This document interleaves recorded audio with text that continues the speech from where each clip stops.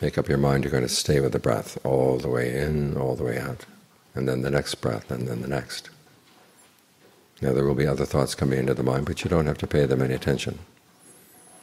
One of our problems is we find our thoughts too interesting. It's good to get out of them for a while.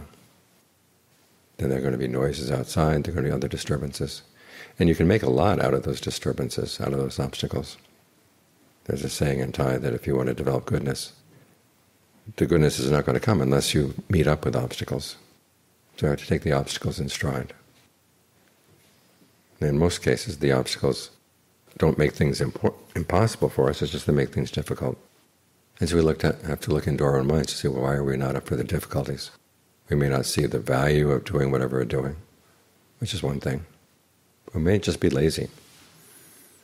Sometimes it's an old habit we have.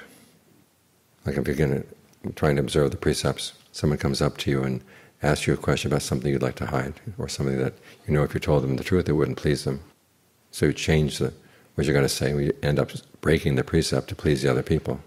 So you have to realize okay, the obstacle is not the other person. The obstacle is your desire to please the other person right then.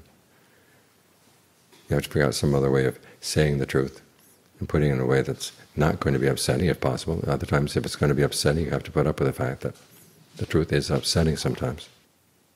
So you learn how not to take the obstacles as a major problem. At least not the obstacles outside. You have to look at the problem inside your own mind. Because we all have some old habits that are not really good for the practice. We have to have the attitude that we have to choose between the practice and our old habits. We've got to choose the practice, because the practice is designed for our true happiness. And the Buddha recommends that you be generous and virtuous, that you meditate and part of your mind says, no, I'd rather hold on to my things and not share them. Or I'd like to break a few precepts. Or I don't have time to meditate. Or my mind is a mess, how can I meditate? those attitudes are, your, are the real obstacles there. And then, of course, you're going to go out and try to find obstacles outside to excuse your inside obstacles. You're not really focusing on where the real problem is. So remember, the real problem is inside. In the Pali Canon, they had the personification of evil as Mara tries and comes to get in the way of the Buddha. And the Buddha keeps reminding Mara that the only reason Mara would be able to have some power over him is if inside his own mind he gave in to his defilements. When you don't give in to your defilements, then outside temptations, outside obstacles don't have any power over your mind. So keep remembering to look inside, that the real obstacles are here, not out there. And if you fall for the obstacles, okay, you've harmed yourself even though you may identify with them very strongly. As I said, our attitudes are, this is my way of doing things, this is the person type of person I am, or just plain old laziness.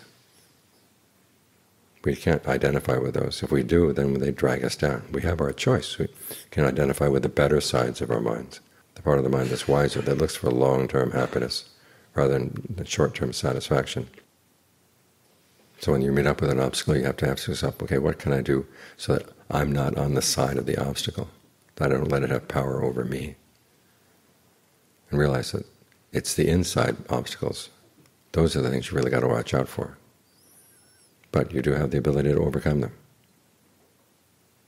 The Buddha and all of his noble disciples have shown that this is something that human beings can do. And it wasn't the case that they were superhuman when they were born.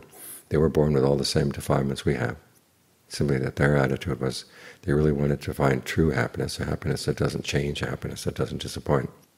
So they didn't let minor happinesses, the minor pleasures, get in the way. Because sometimes it's not necessarily evil that tempts us, it's just minor pleasures that get in the way of the larger well-being. So watch out for those.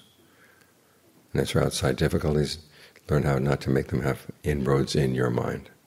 Don't make sure that you don't have a fifth column inside your own mind that sides with them. That way they don't have any power over you at all. You can still do the goodness you want to do. It's a real shame in our society. We don't talk about goodness that much. A couple of years back I got online and went to Amazon and typed goodness into the search box.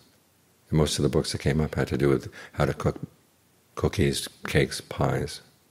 The idea of searching for goodness in your own life, that was seemed to be very foreign but something that really is for our true best interest if we decide that I want to make goodness and the accomplishment of my life in my thoughts, in my words, in my deeds. And don't let minor pleasures get in the way.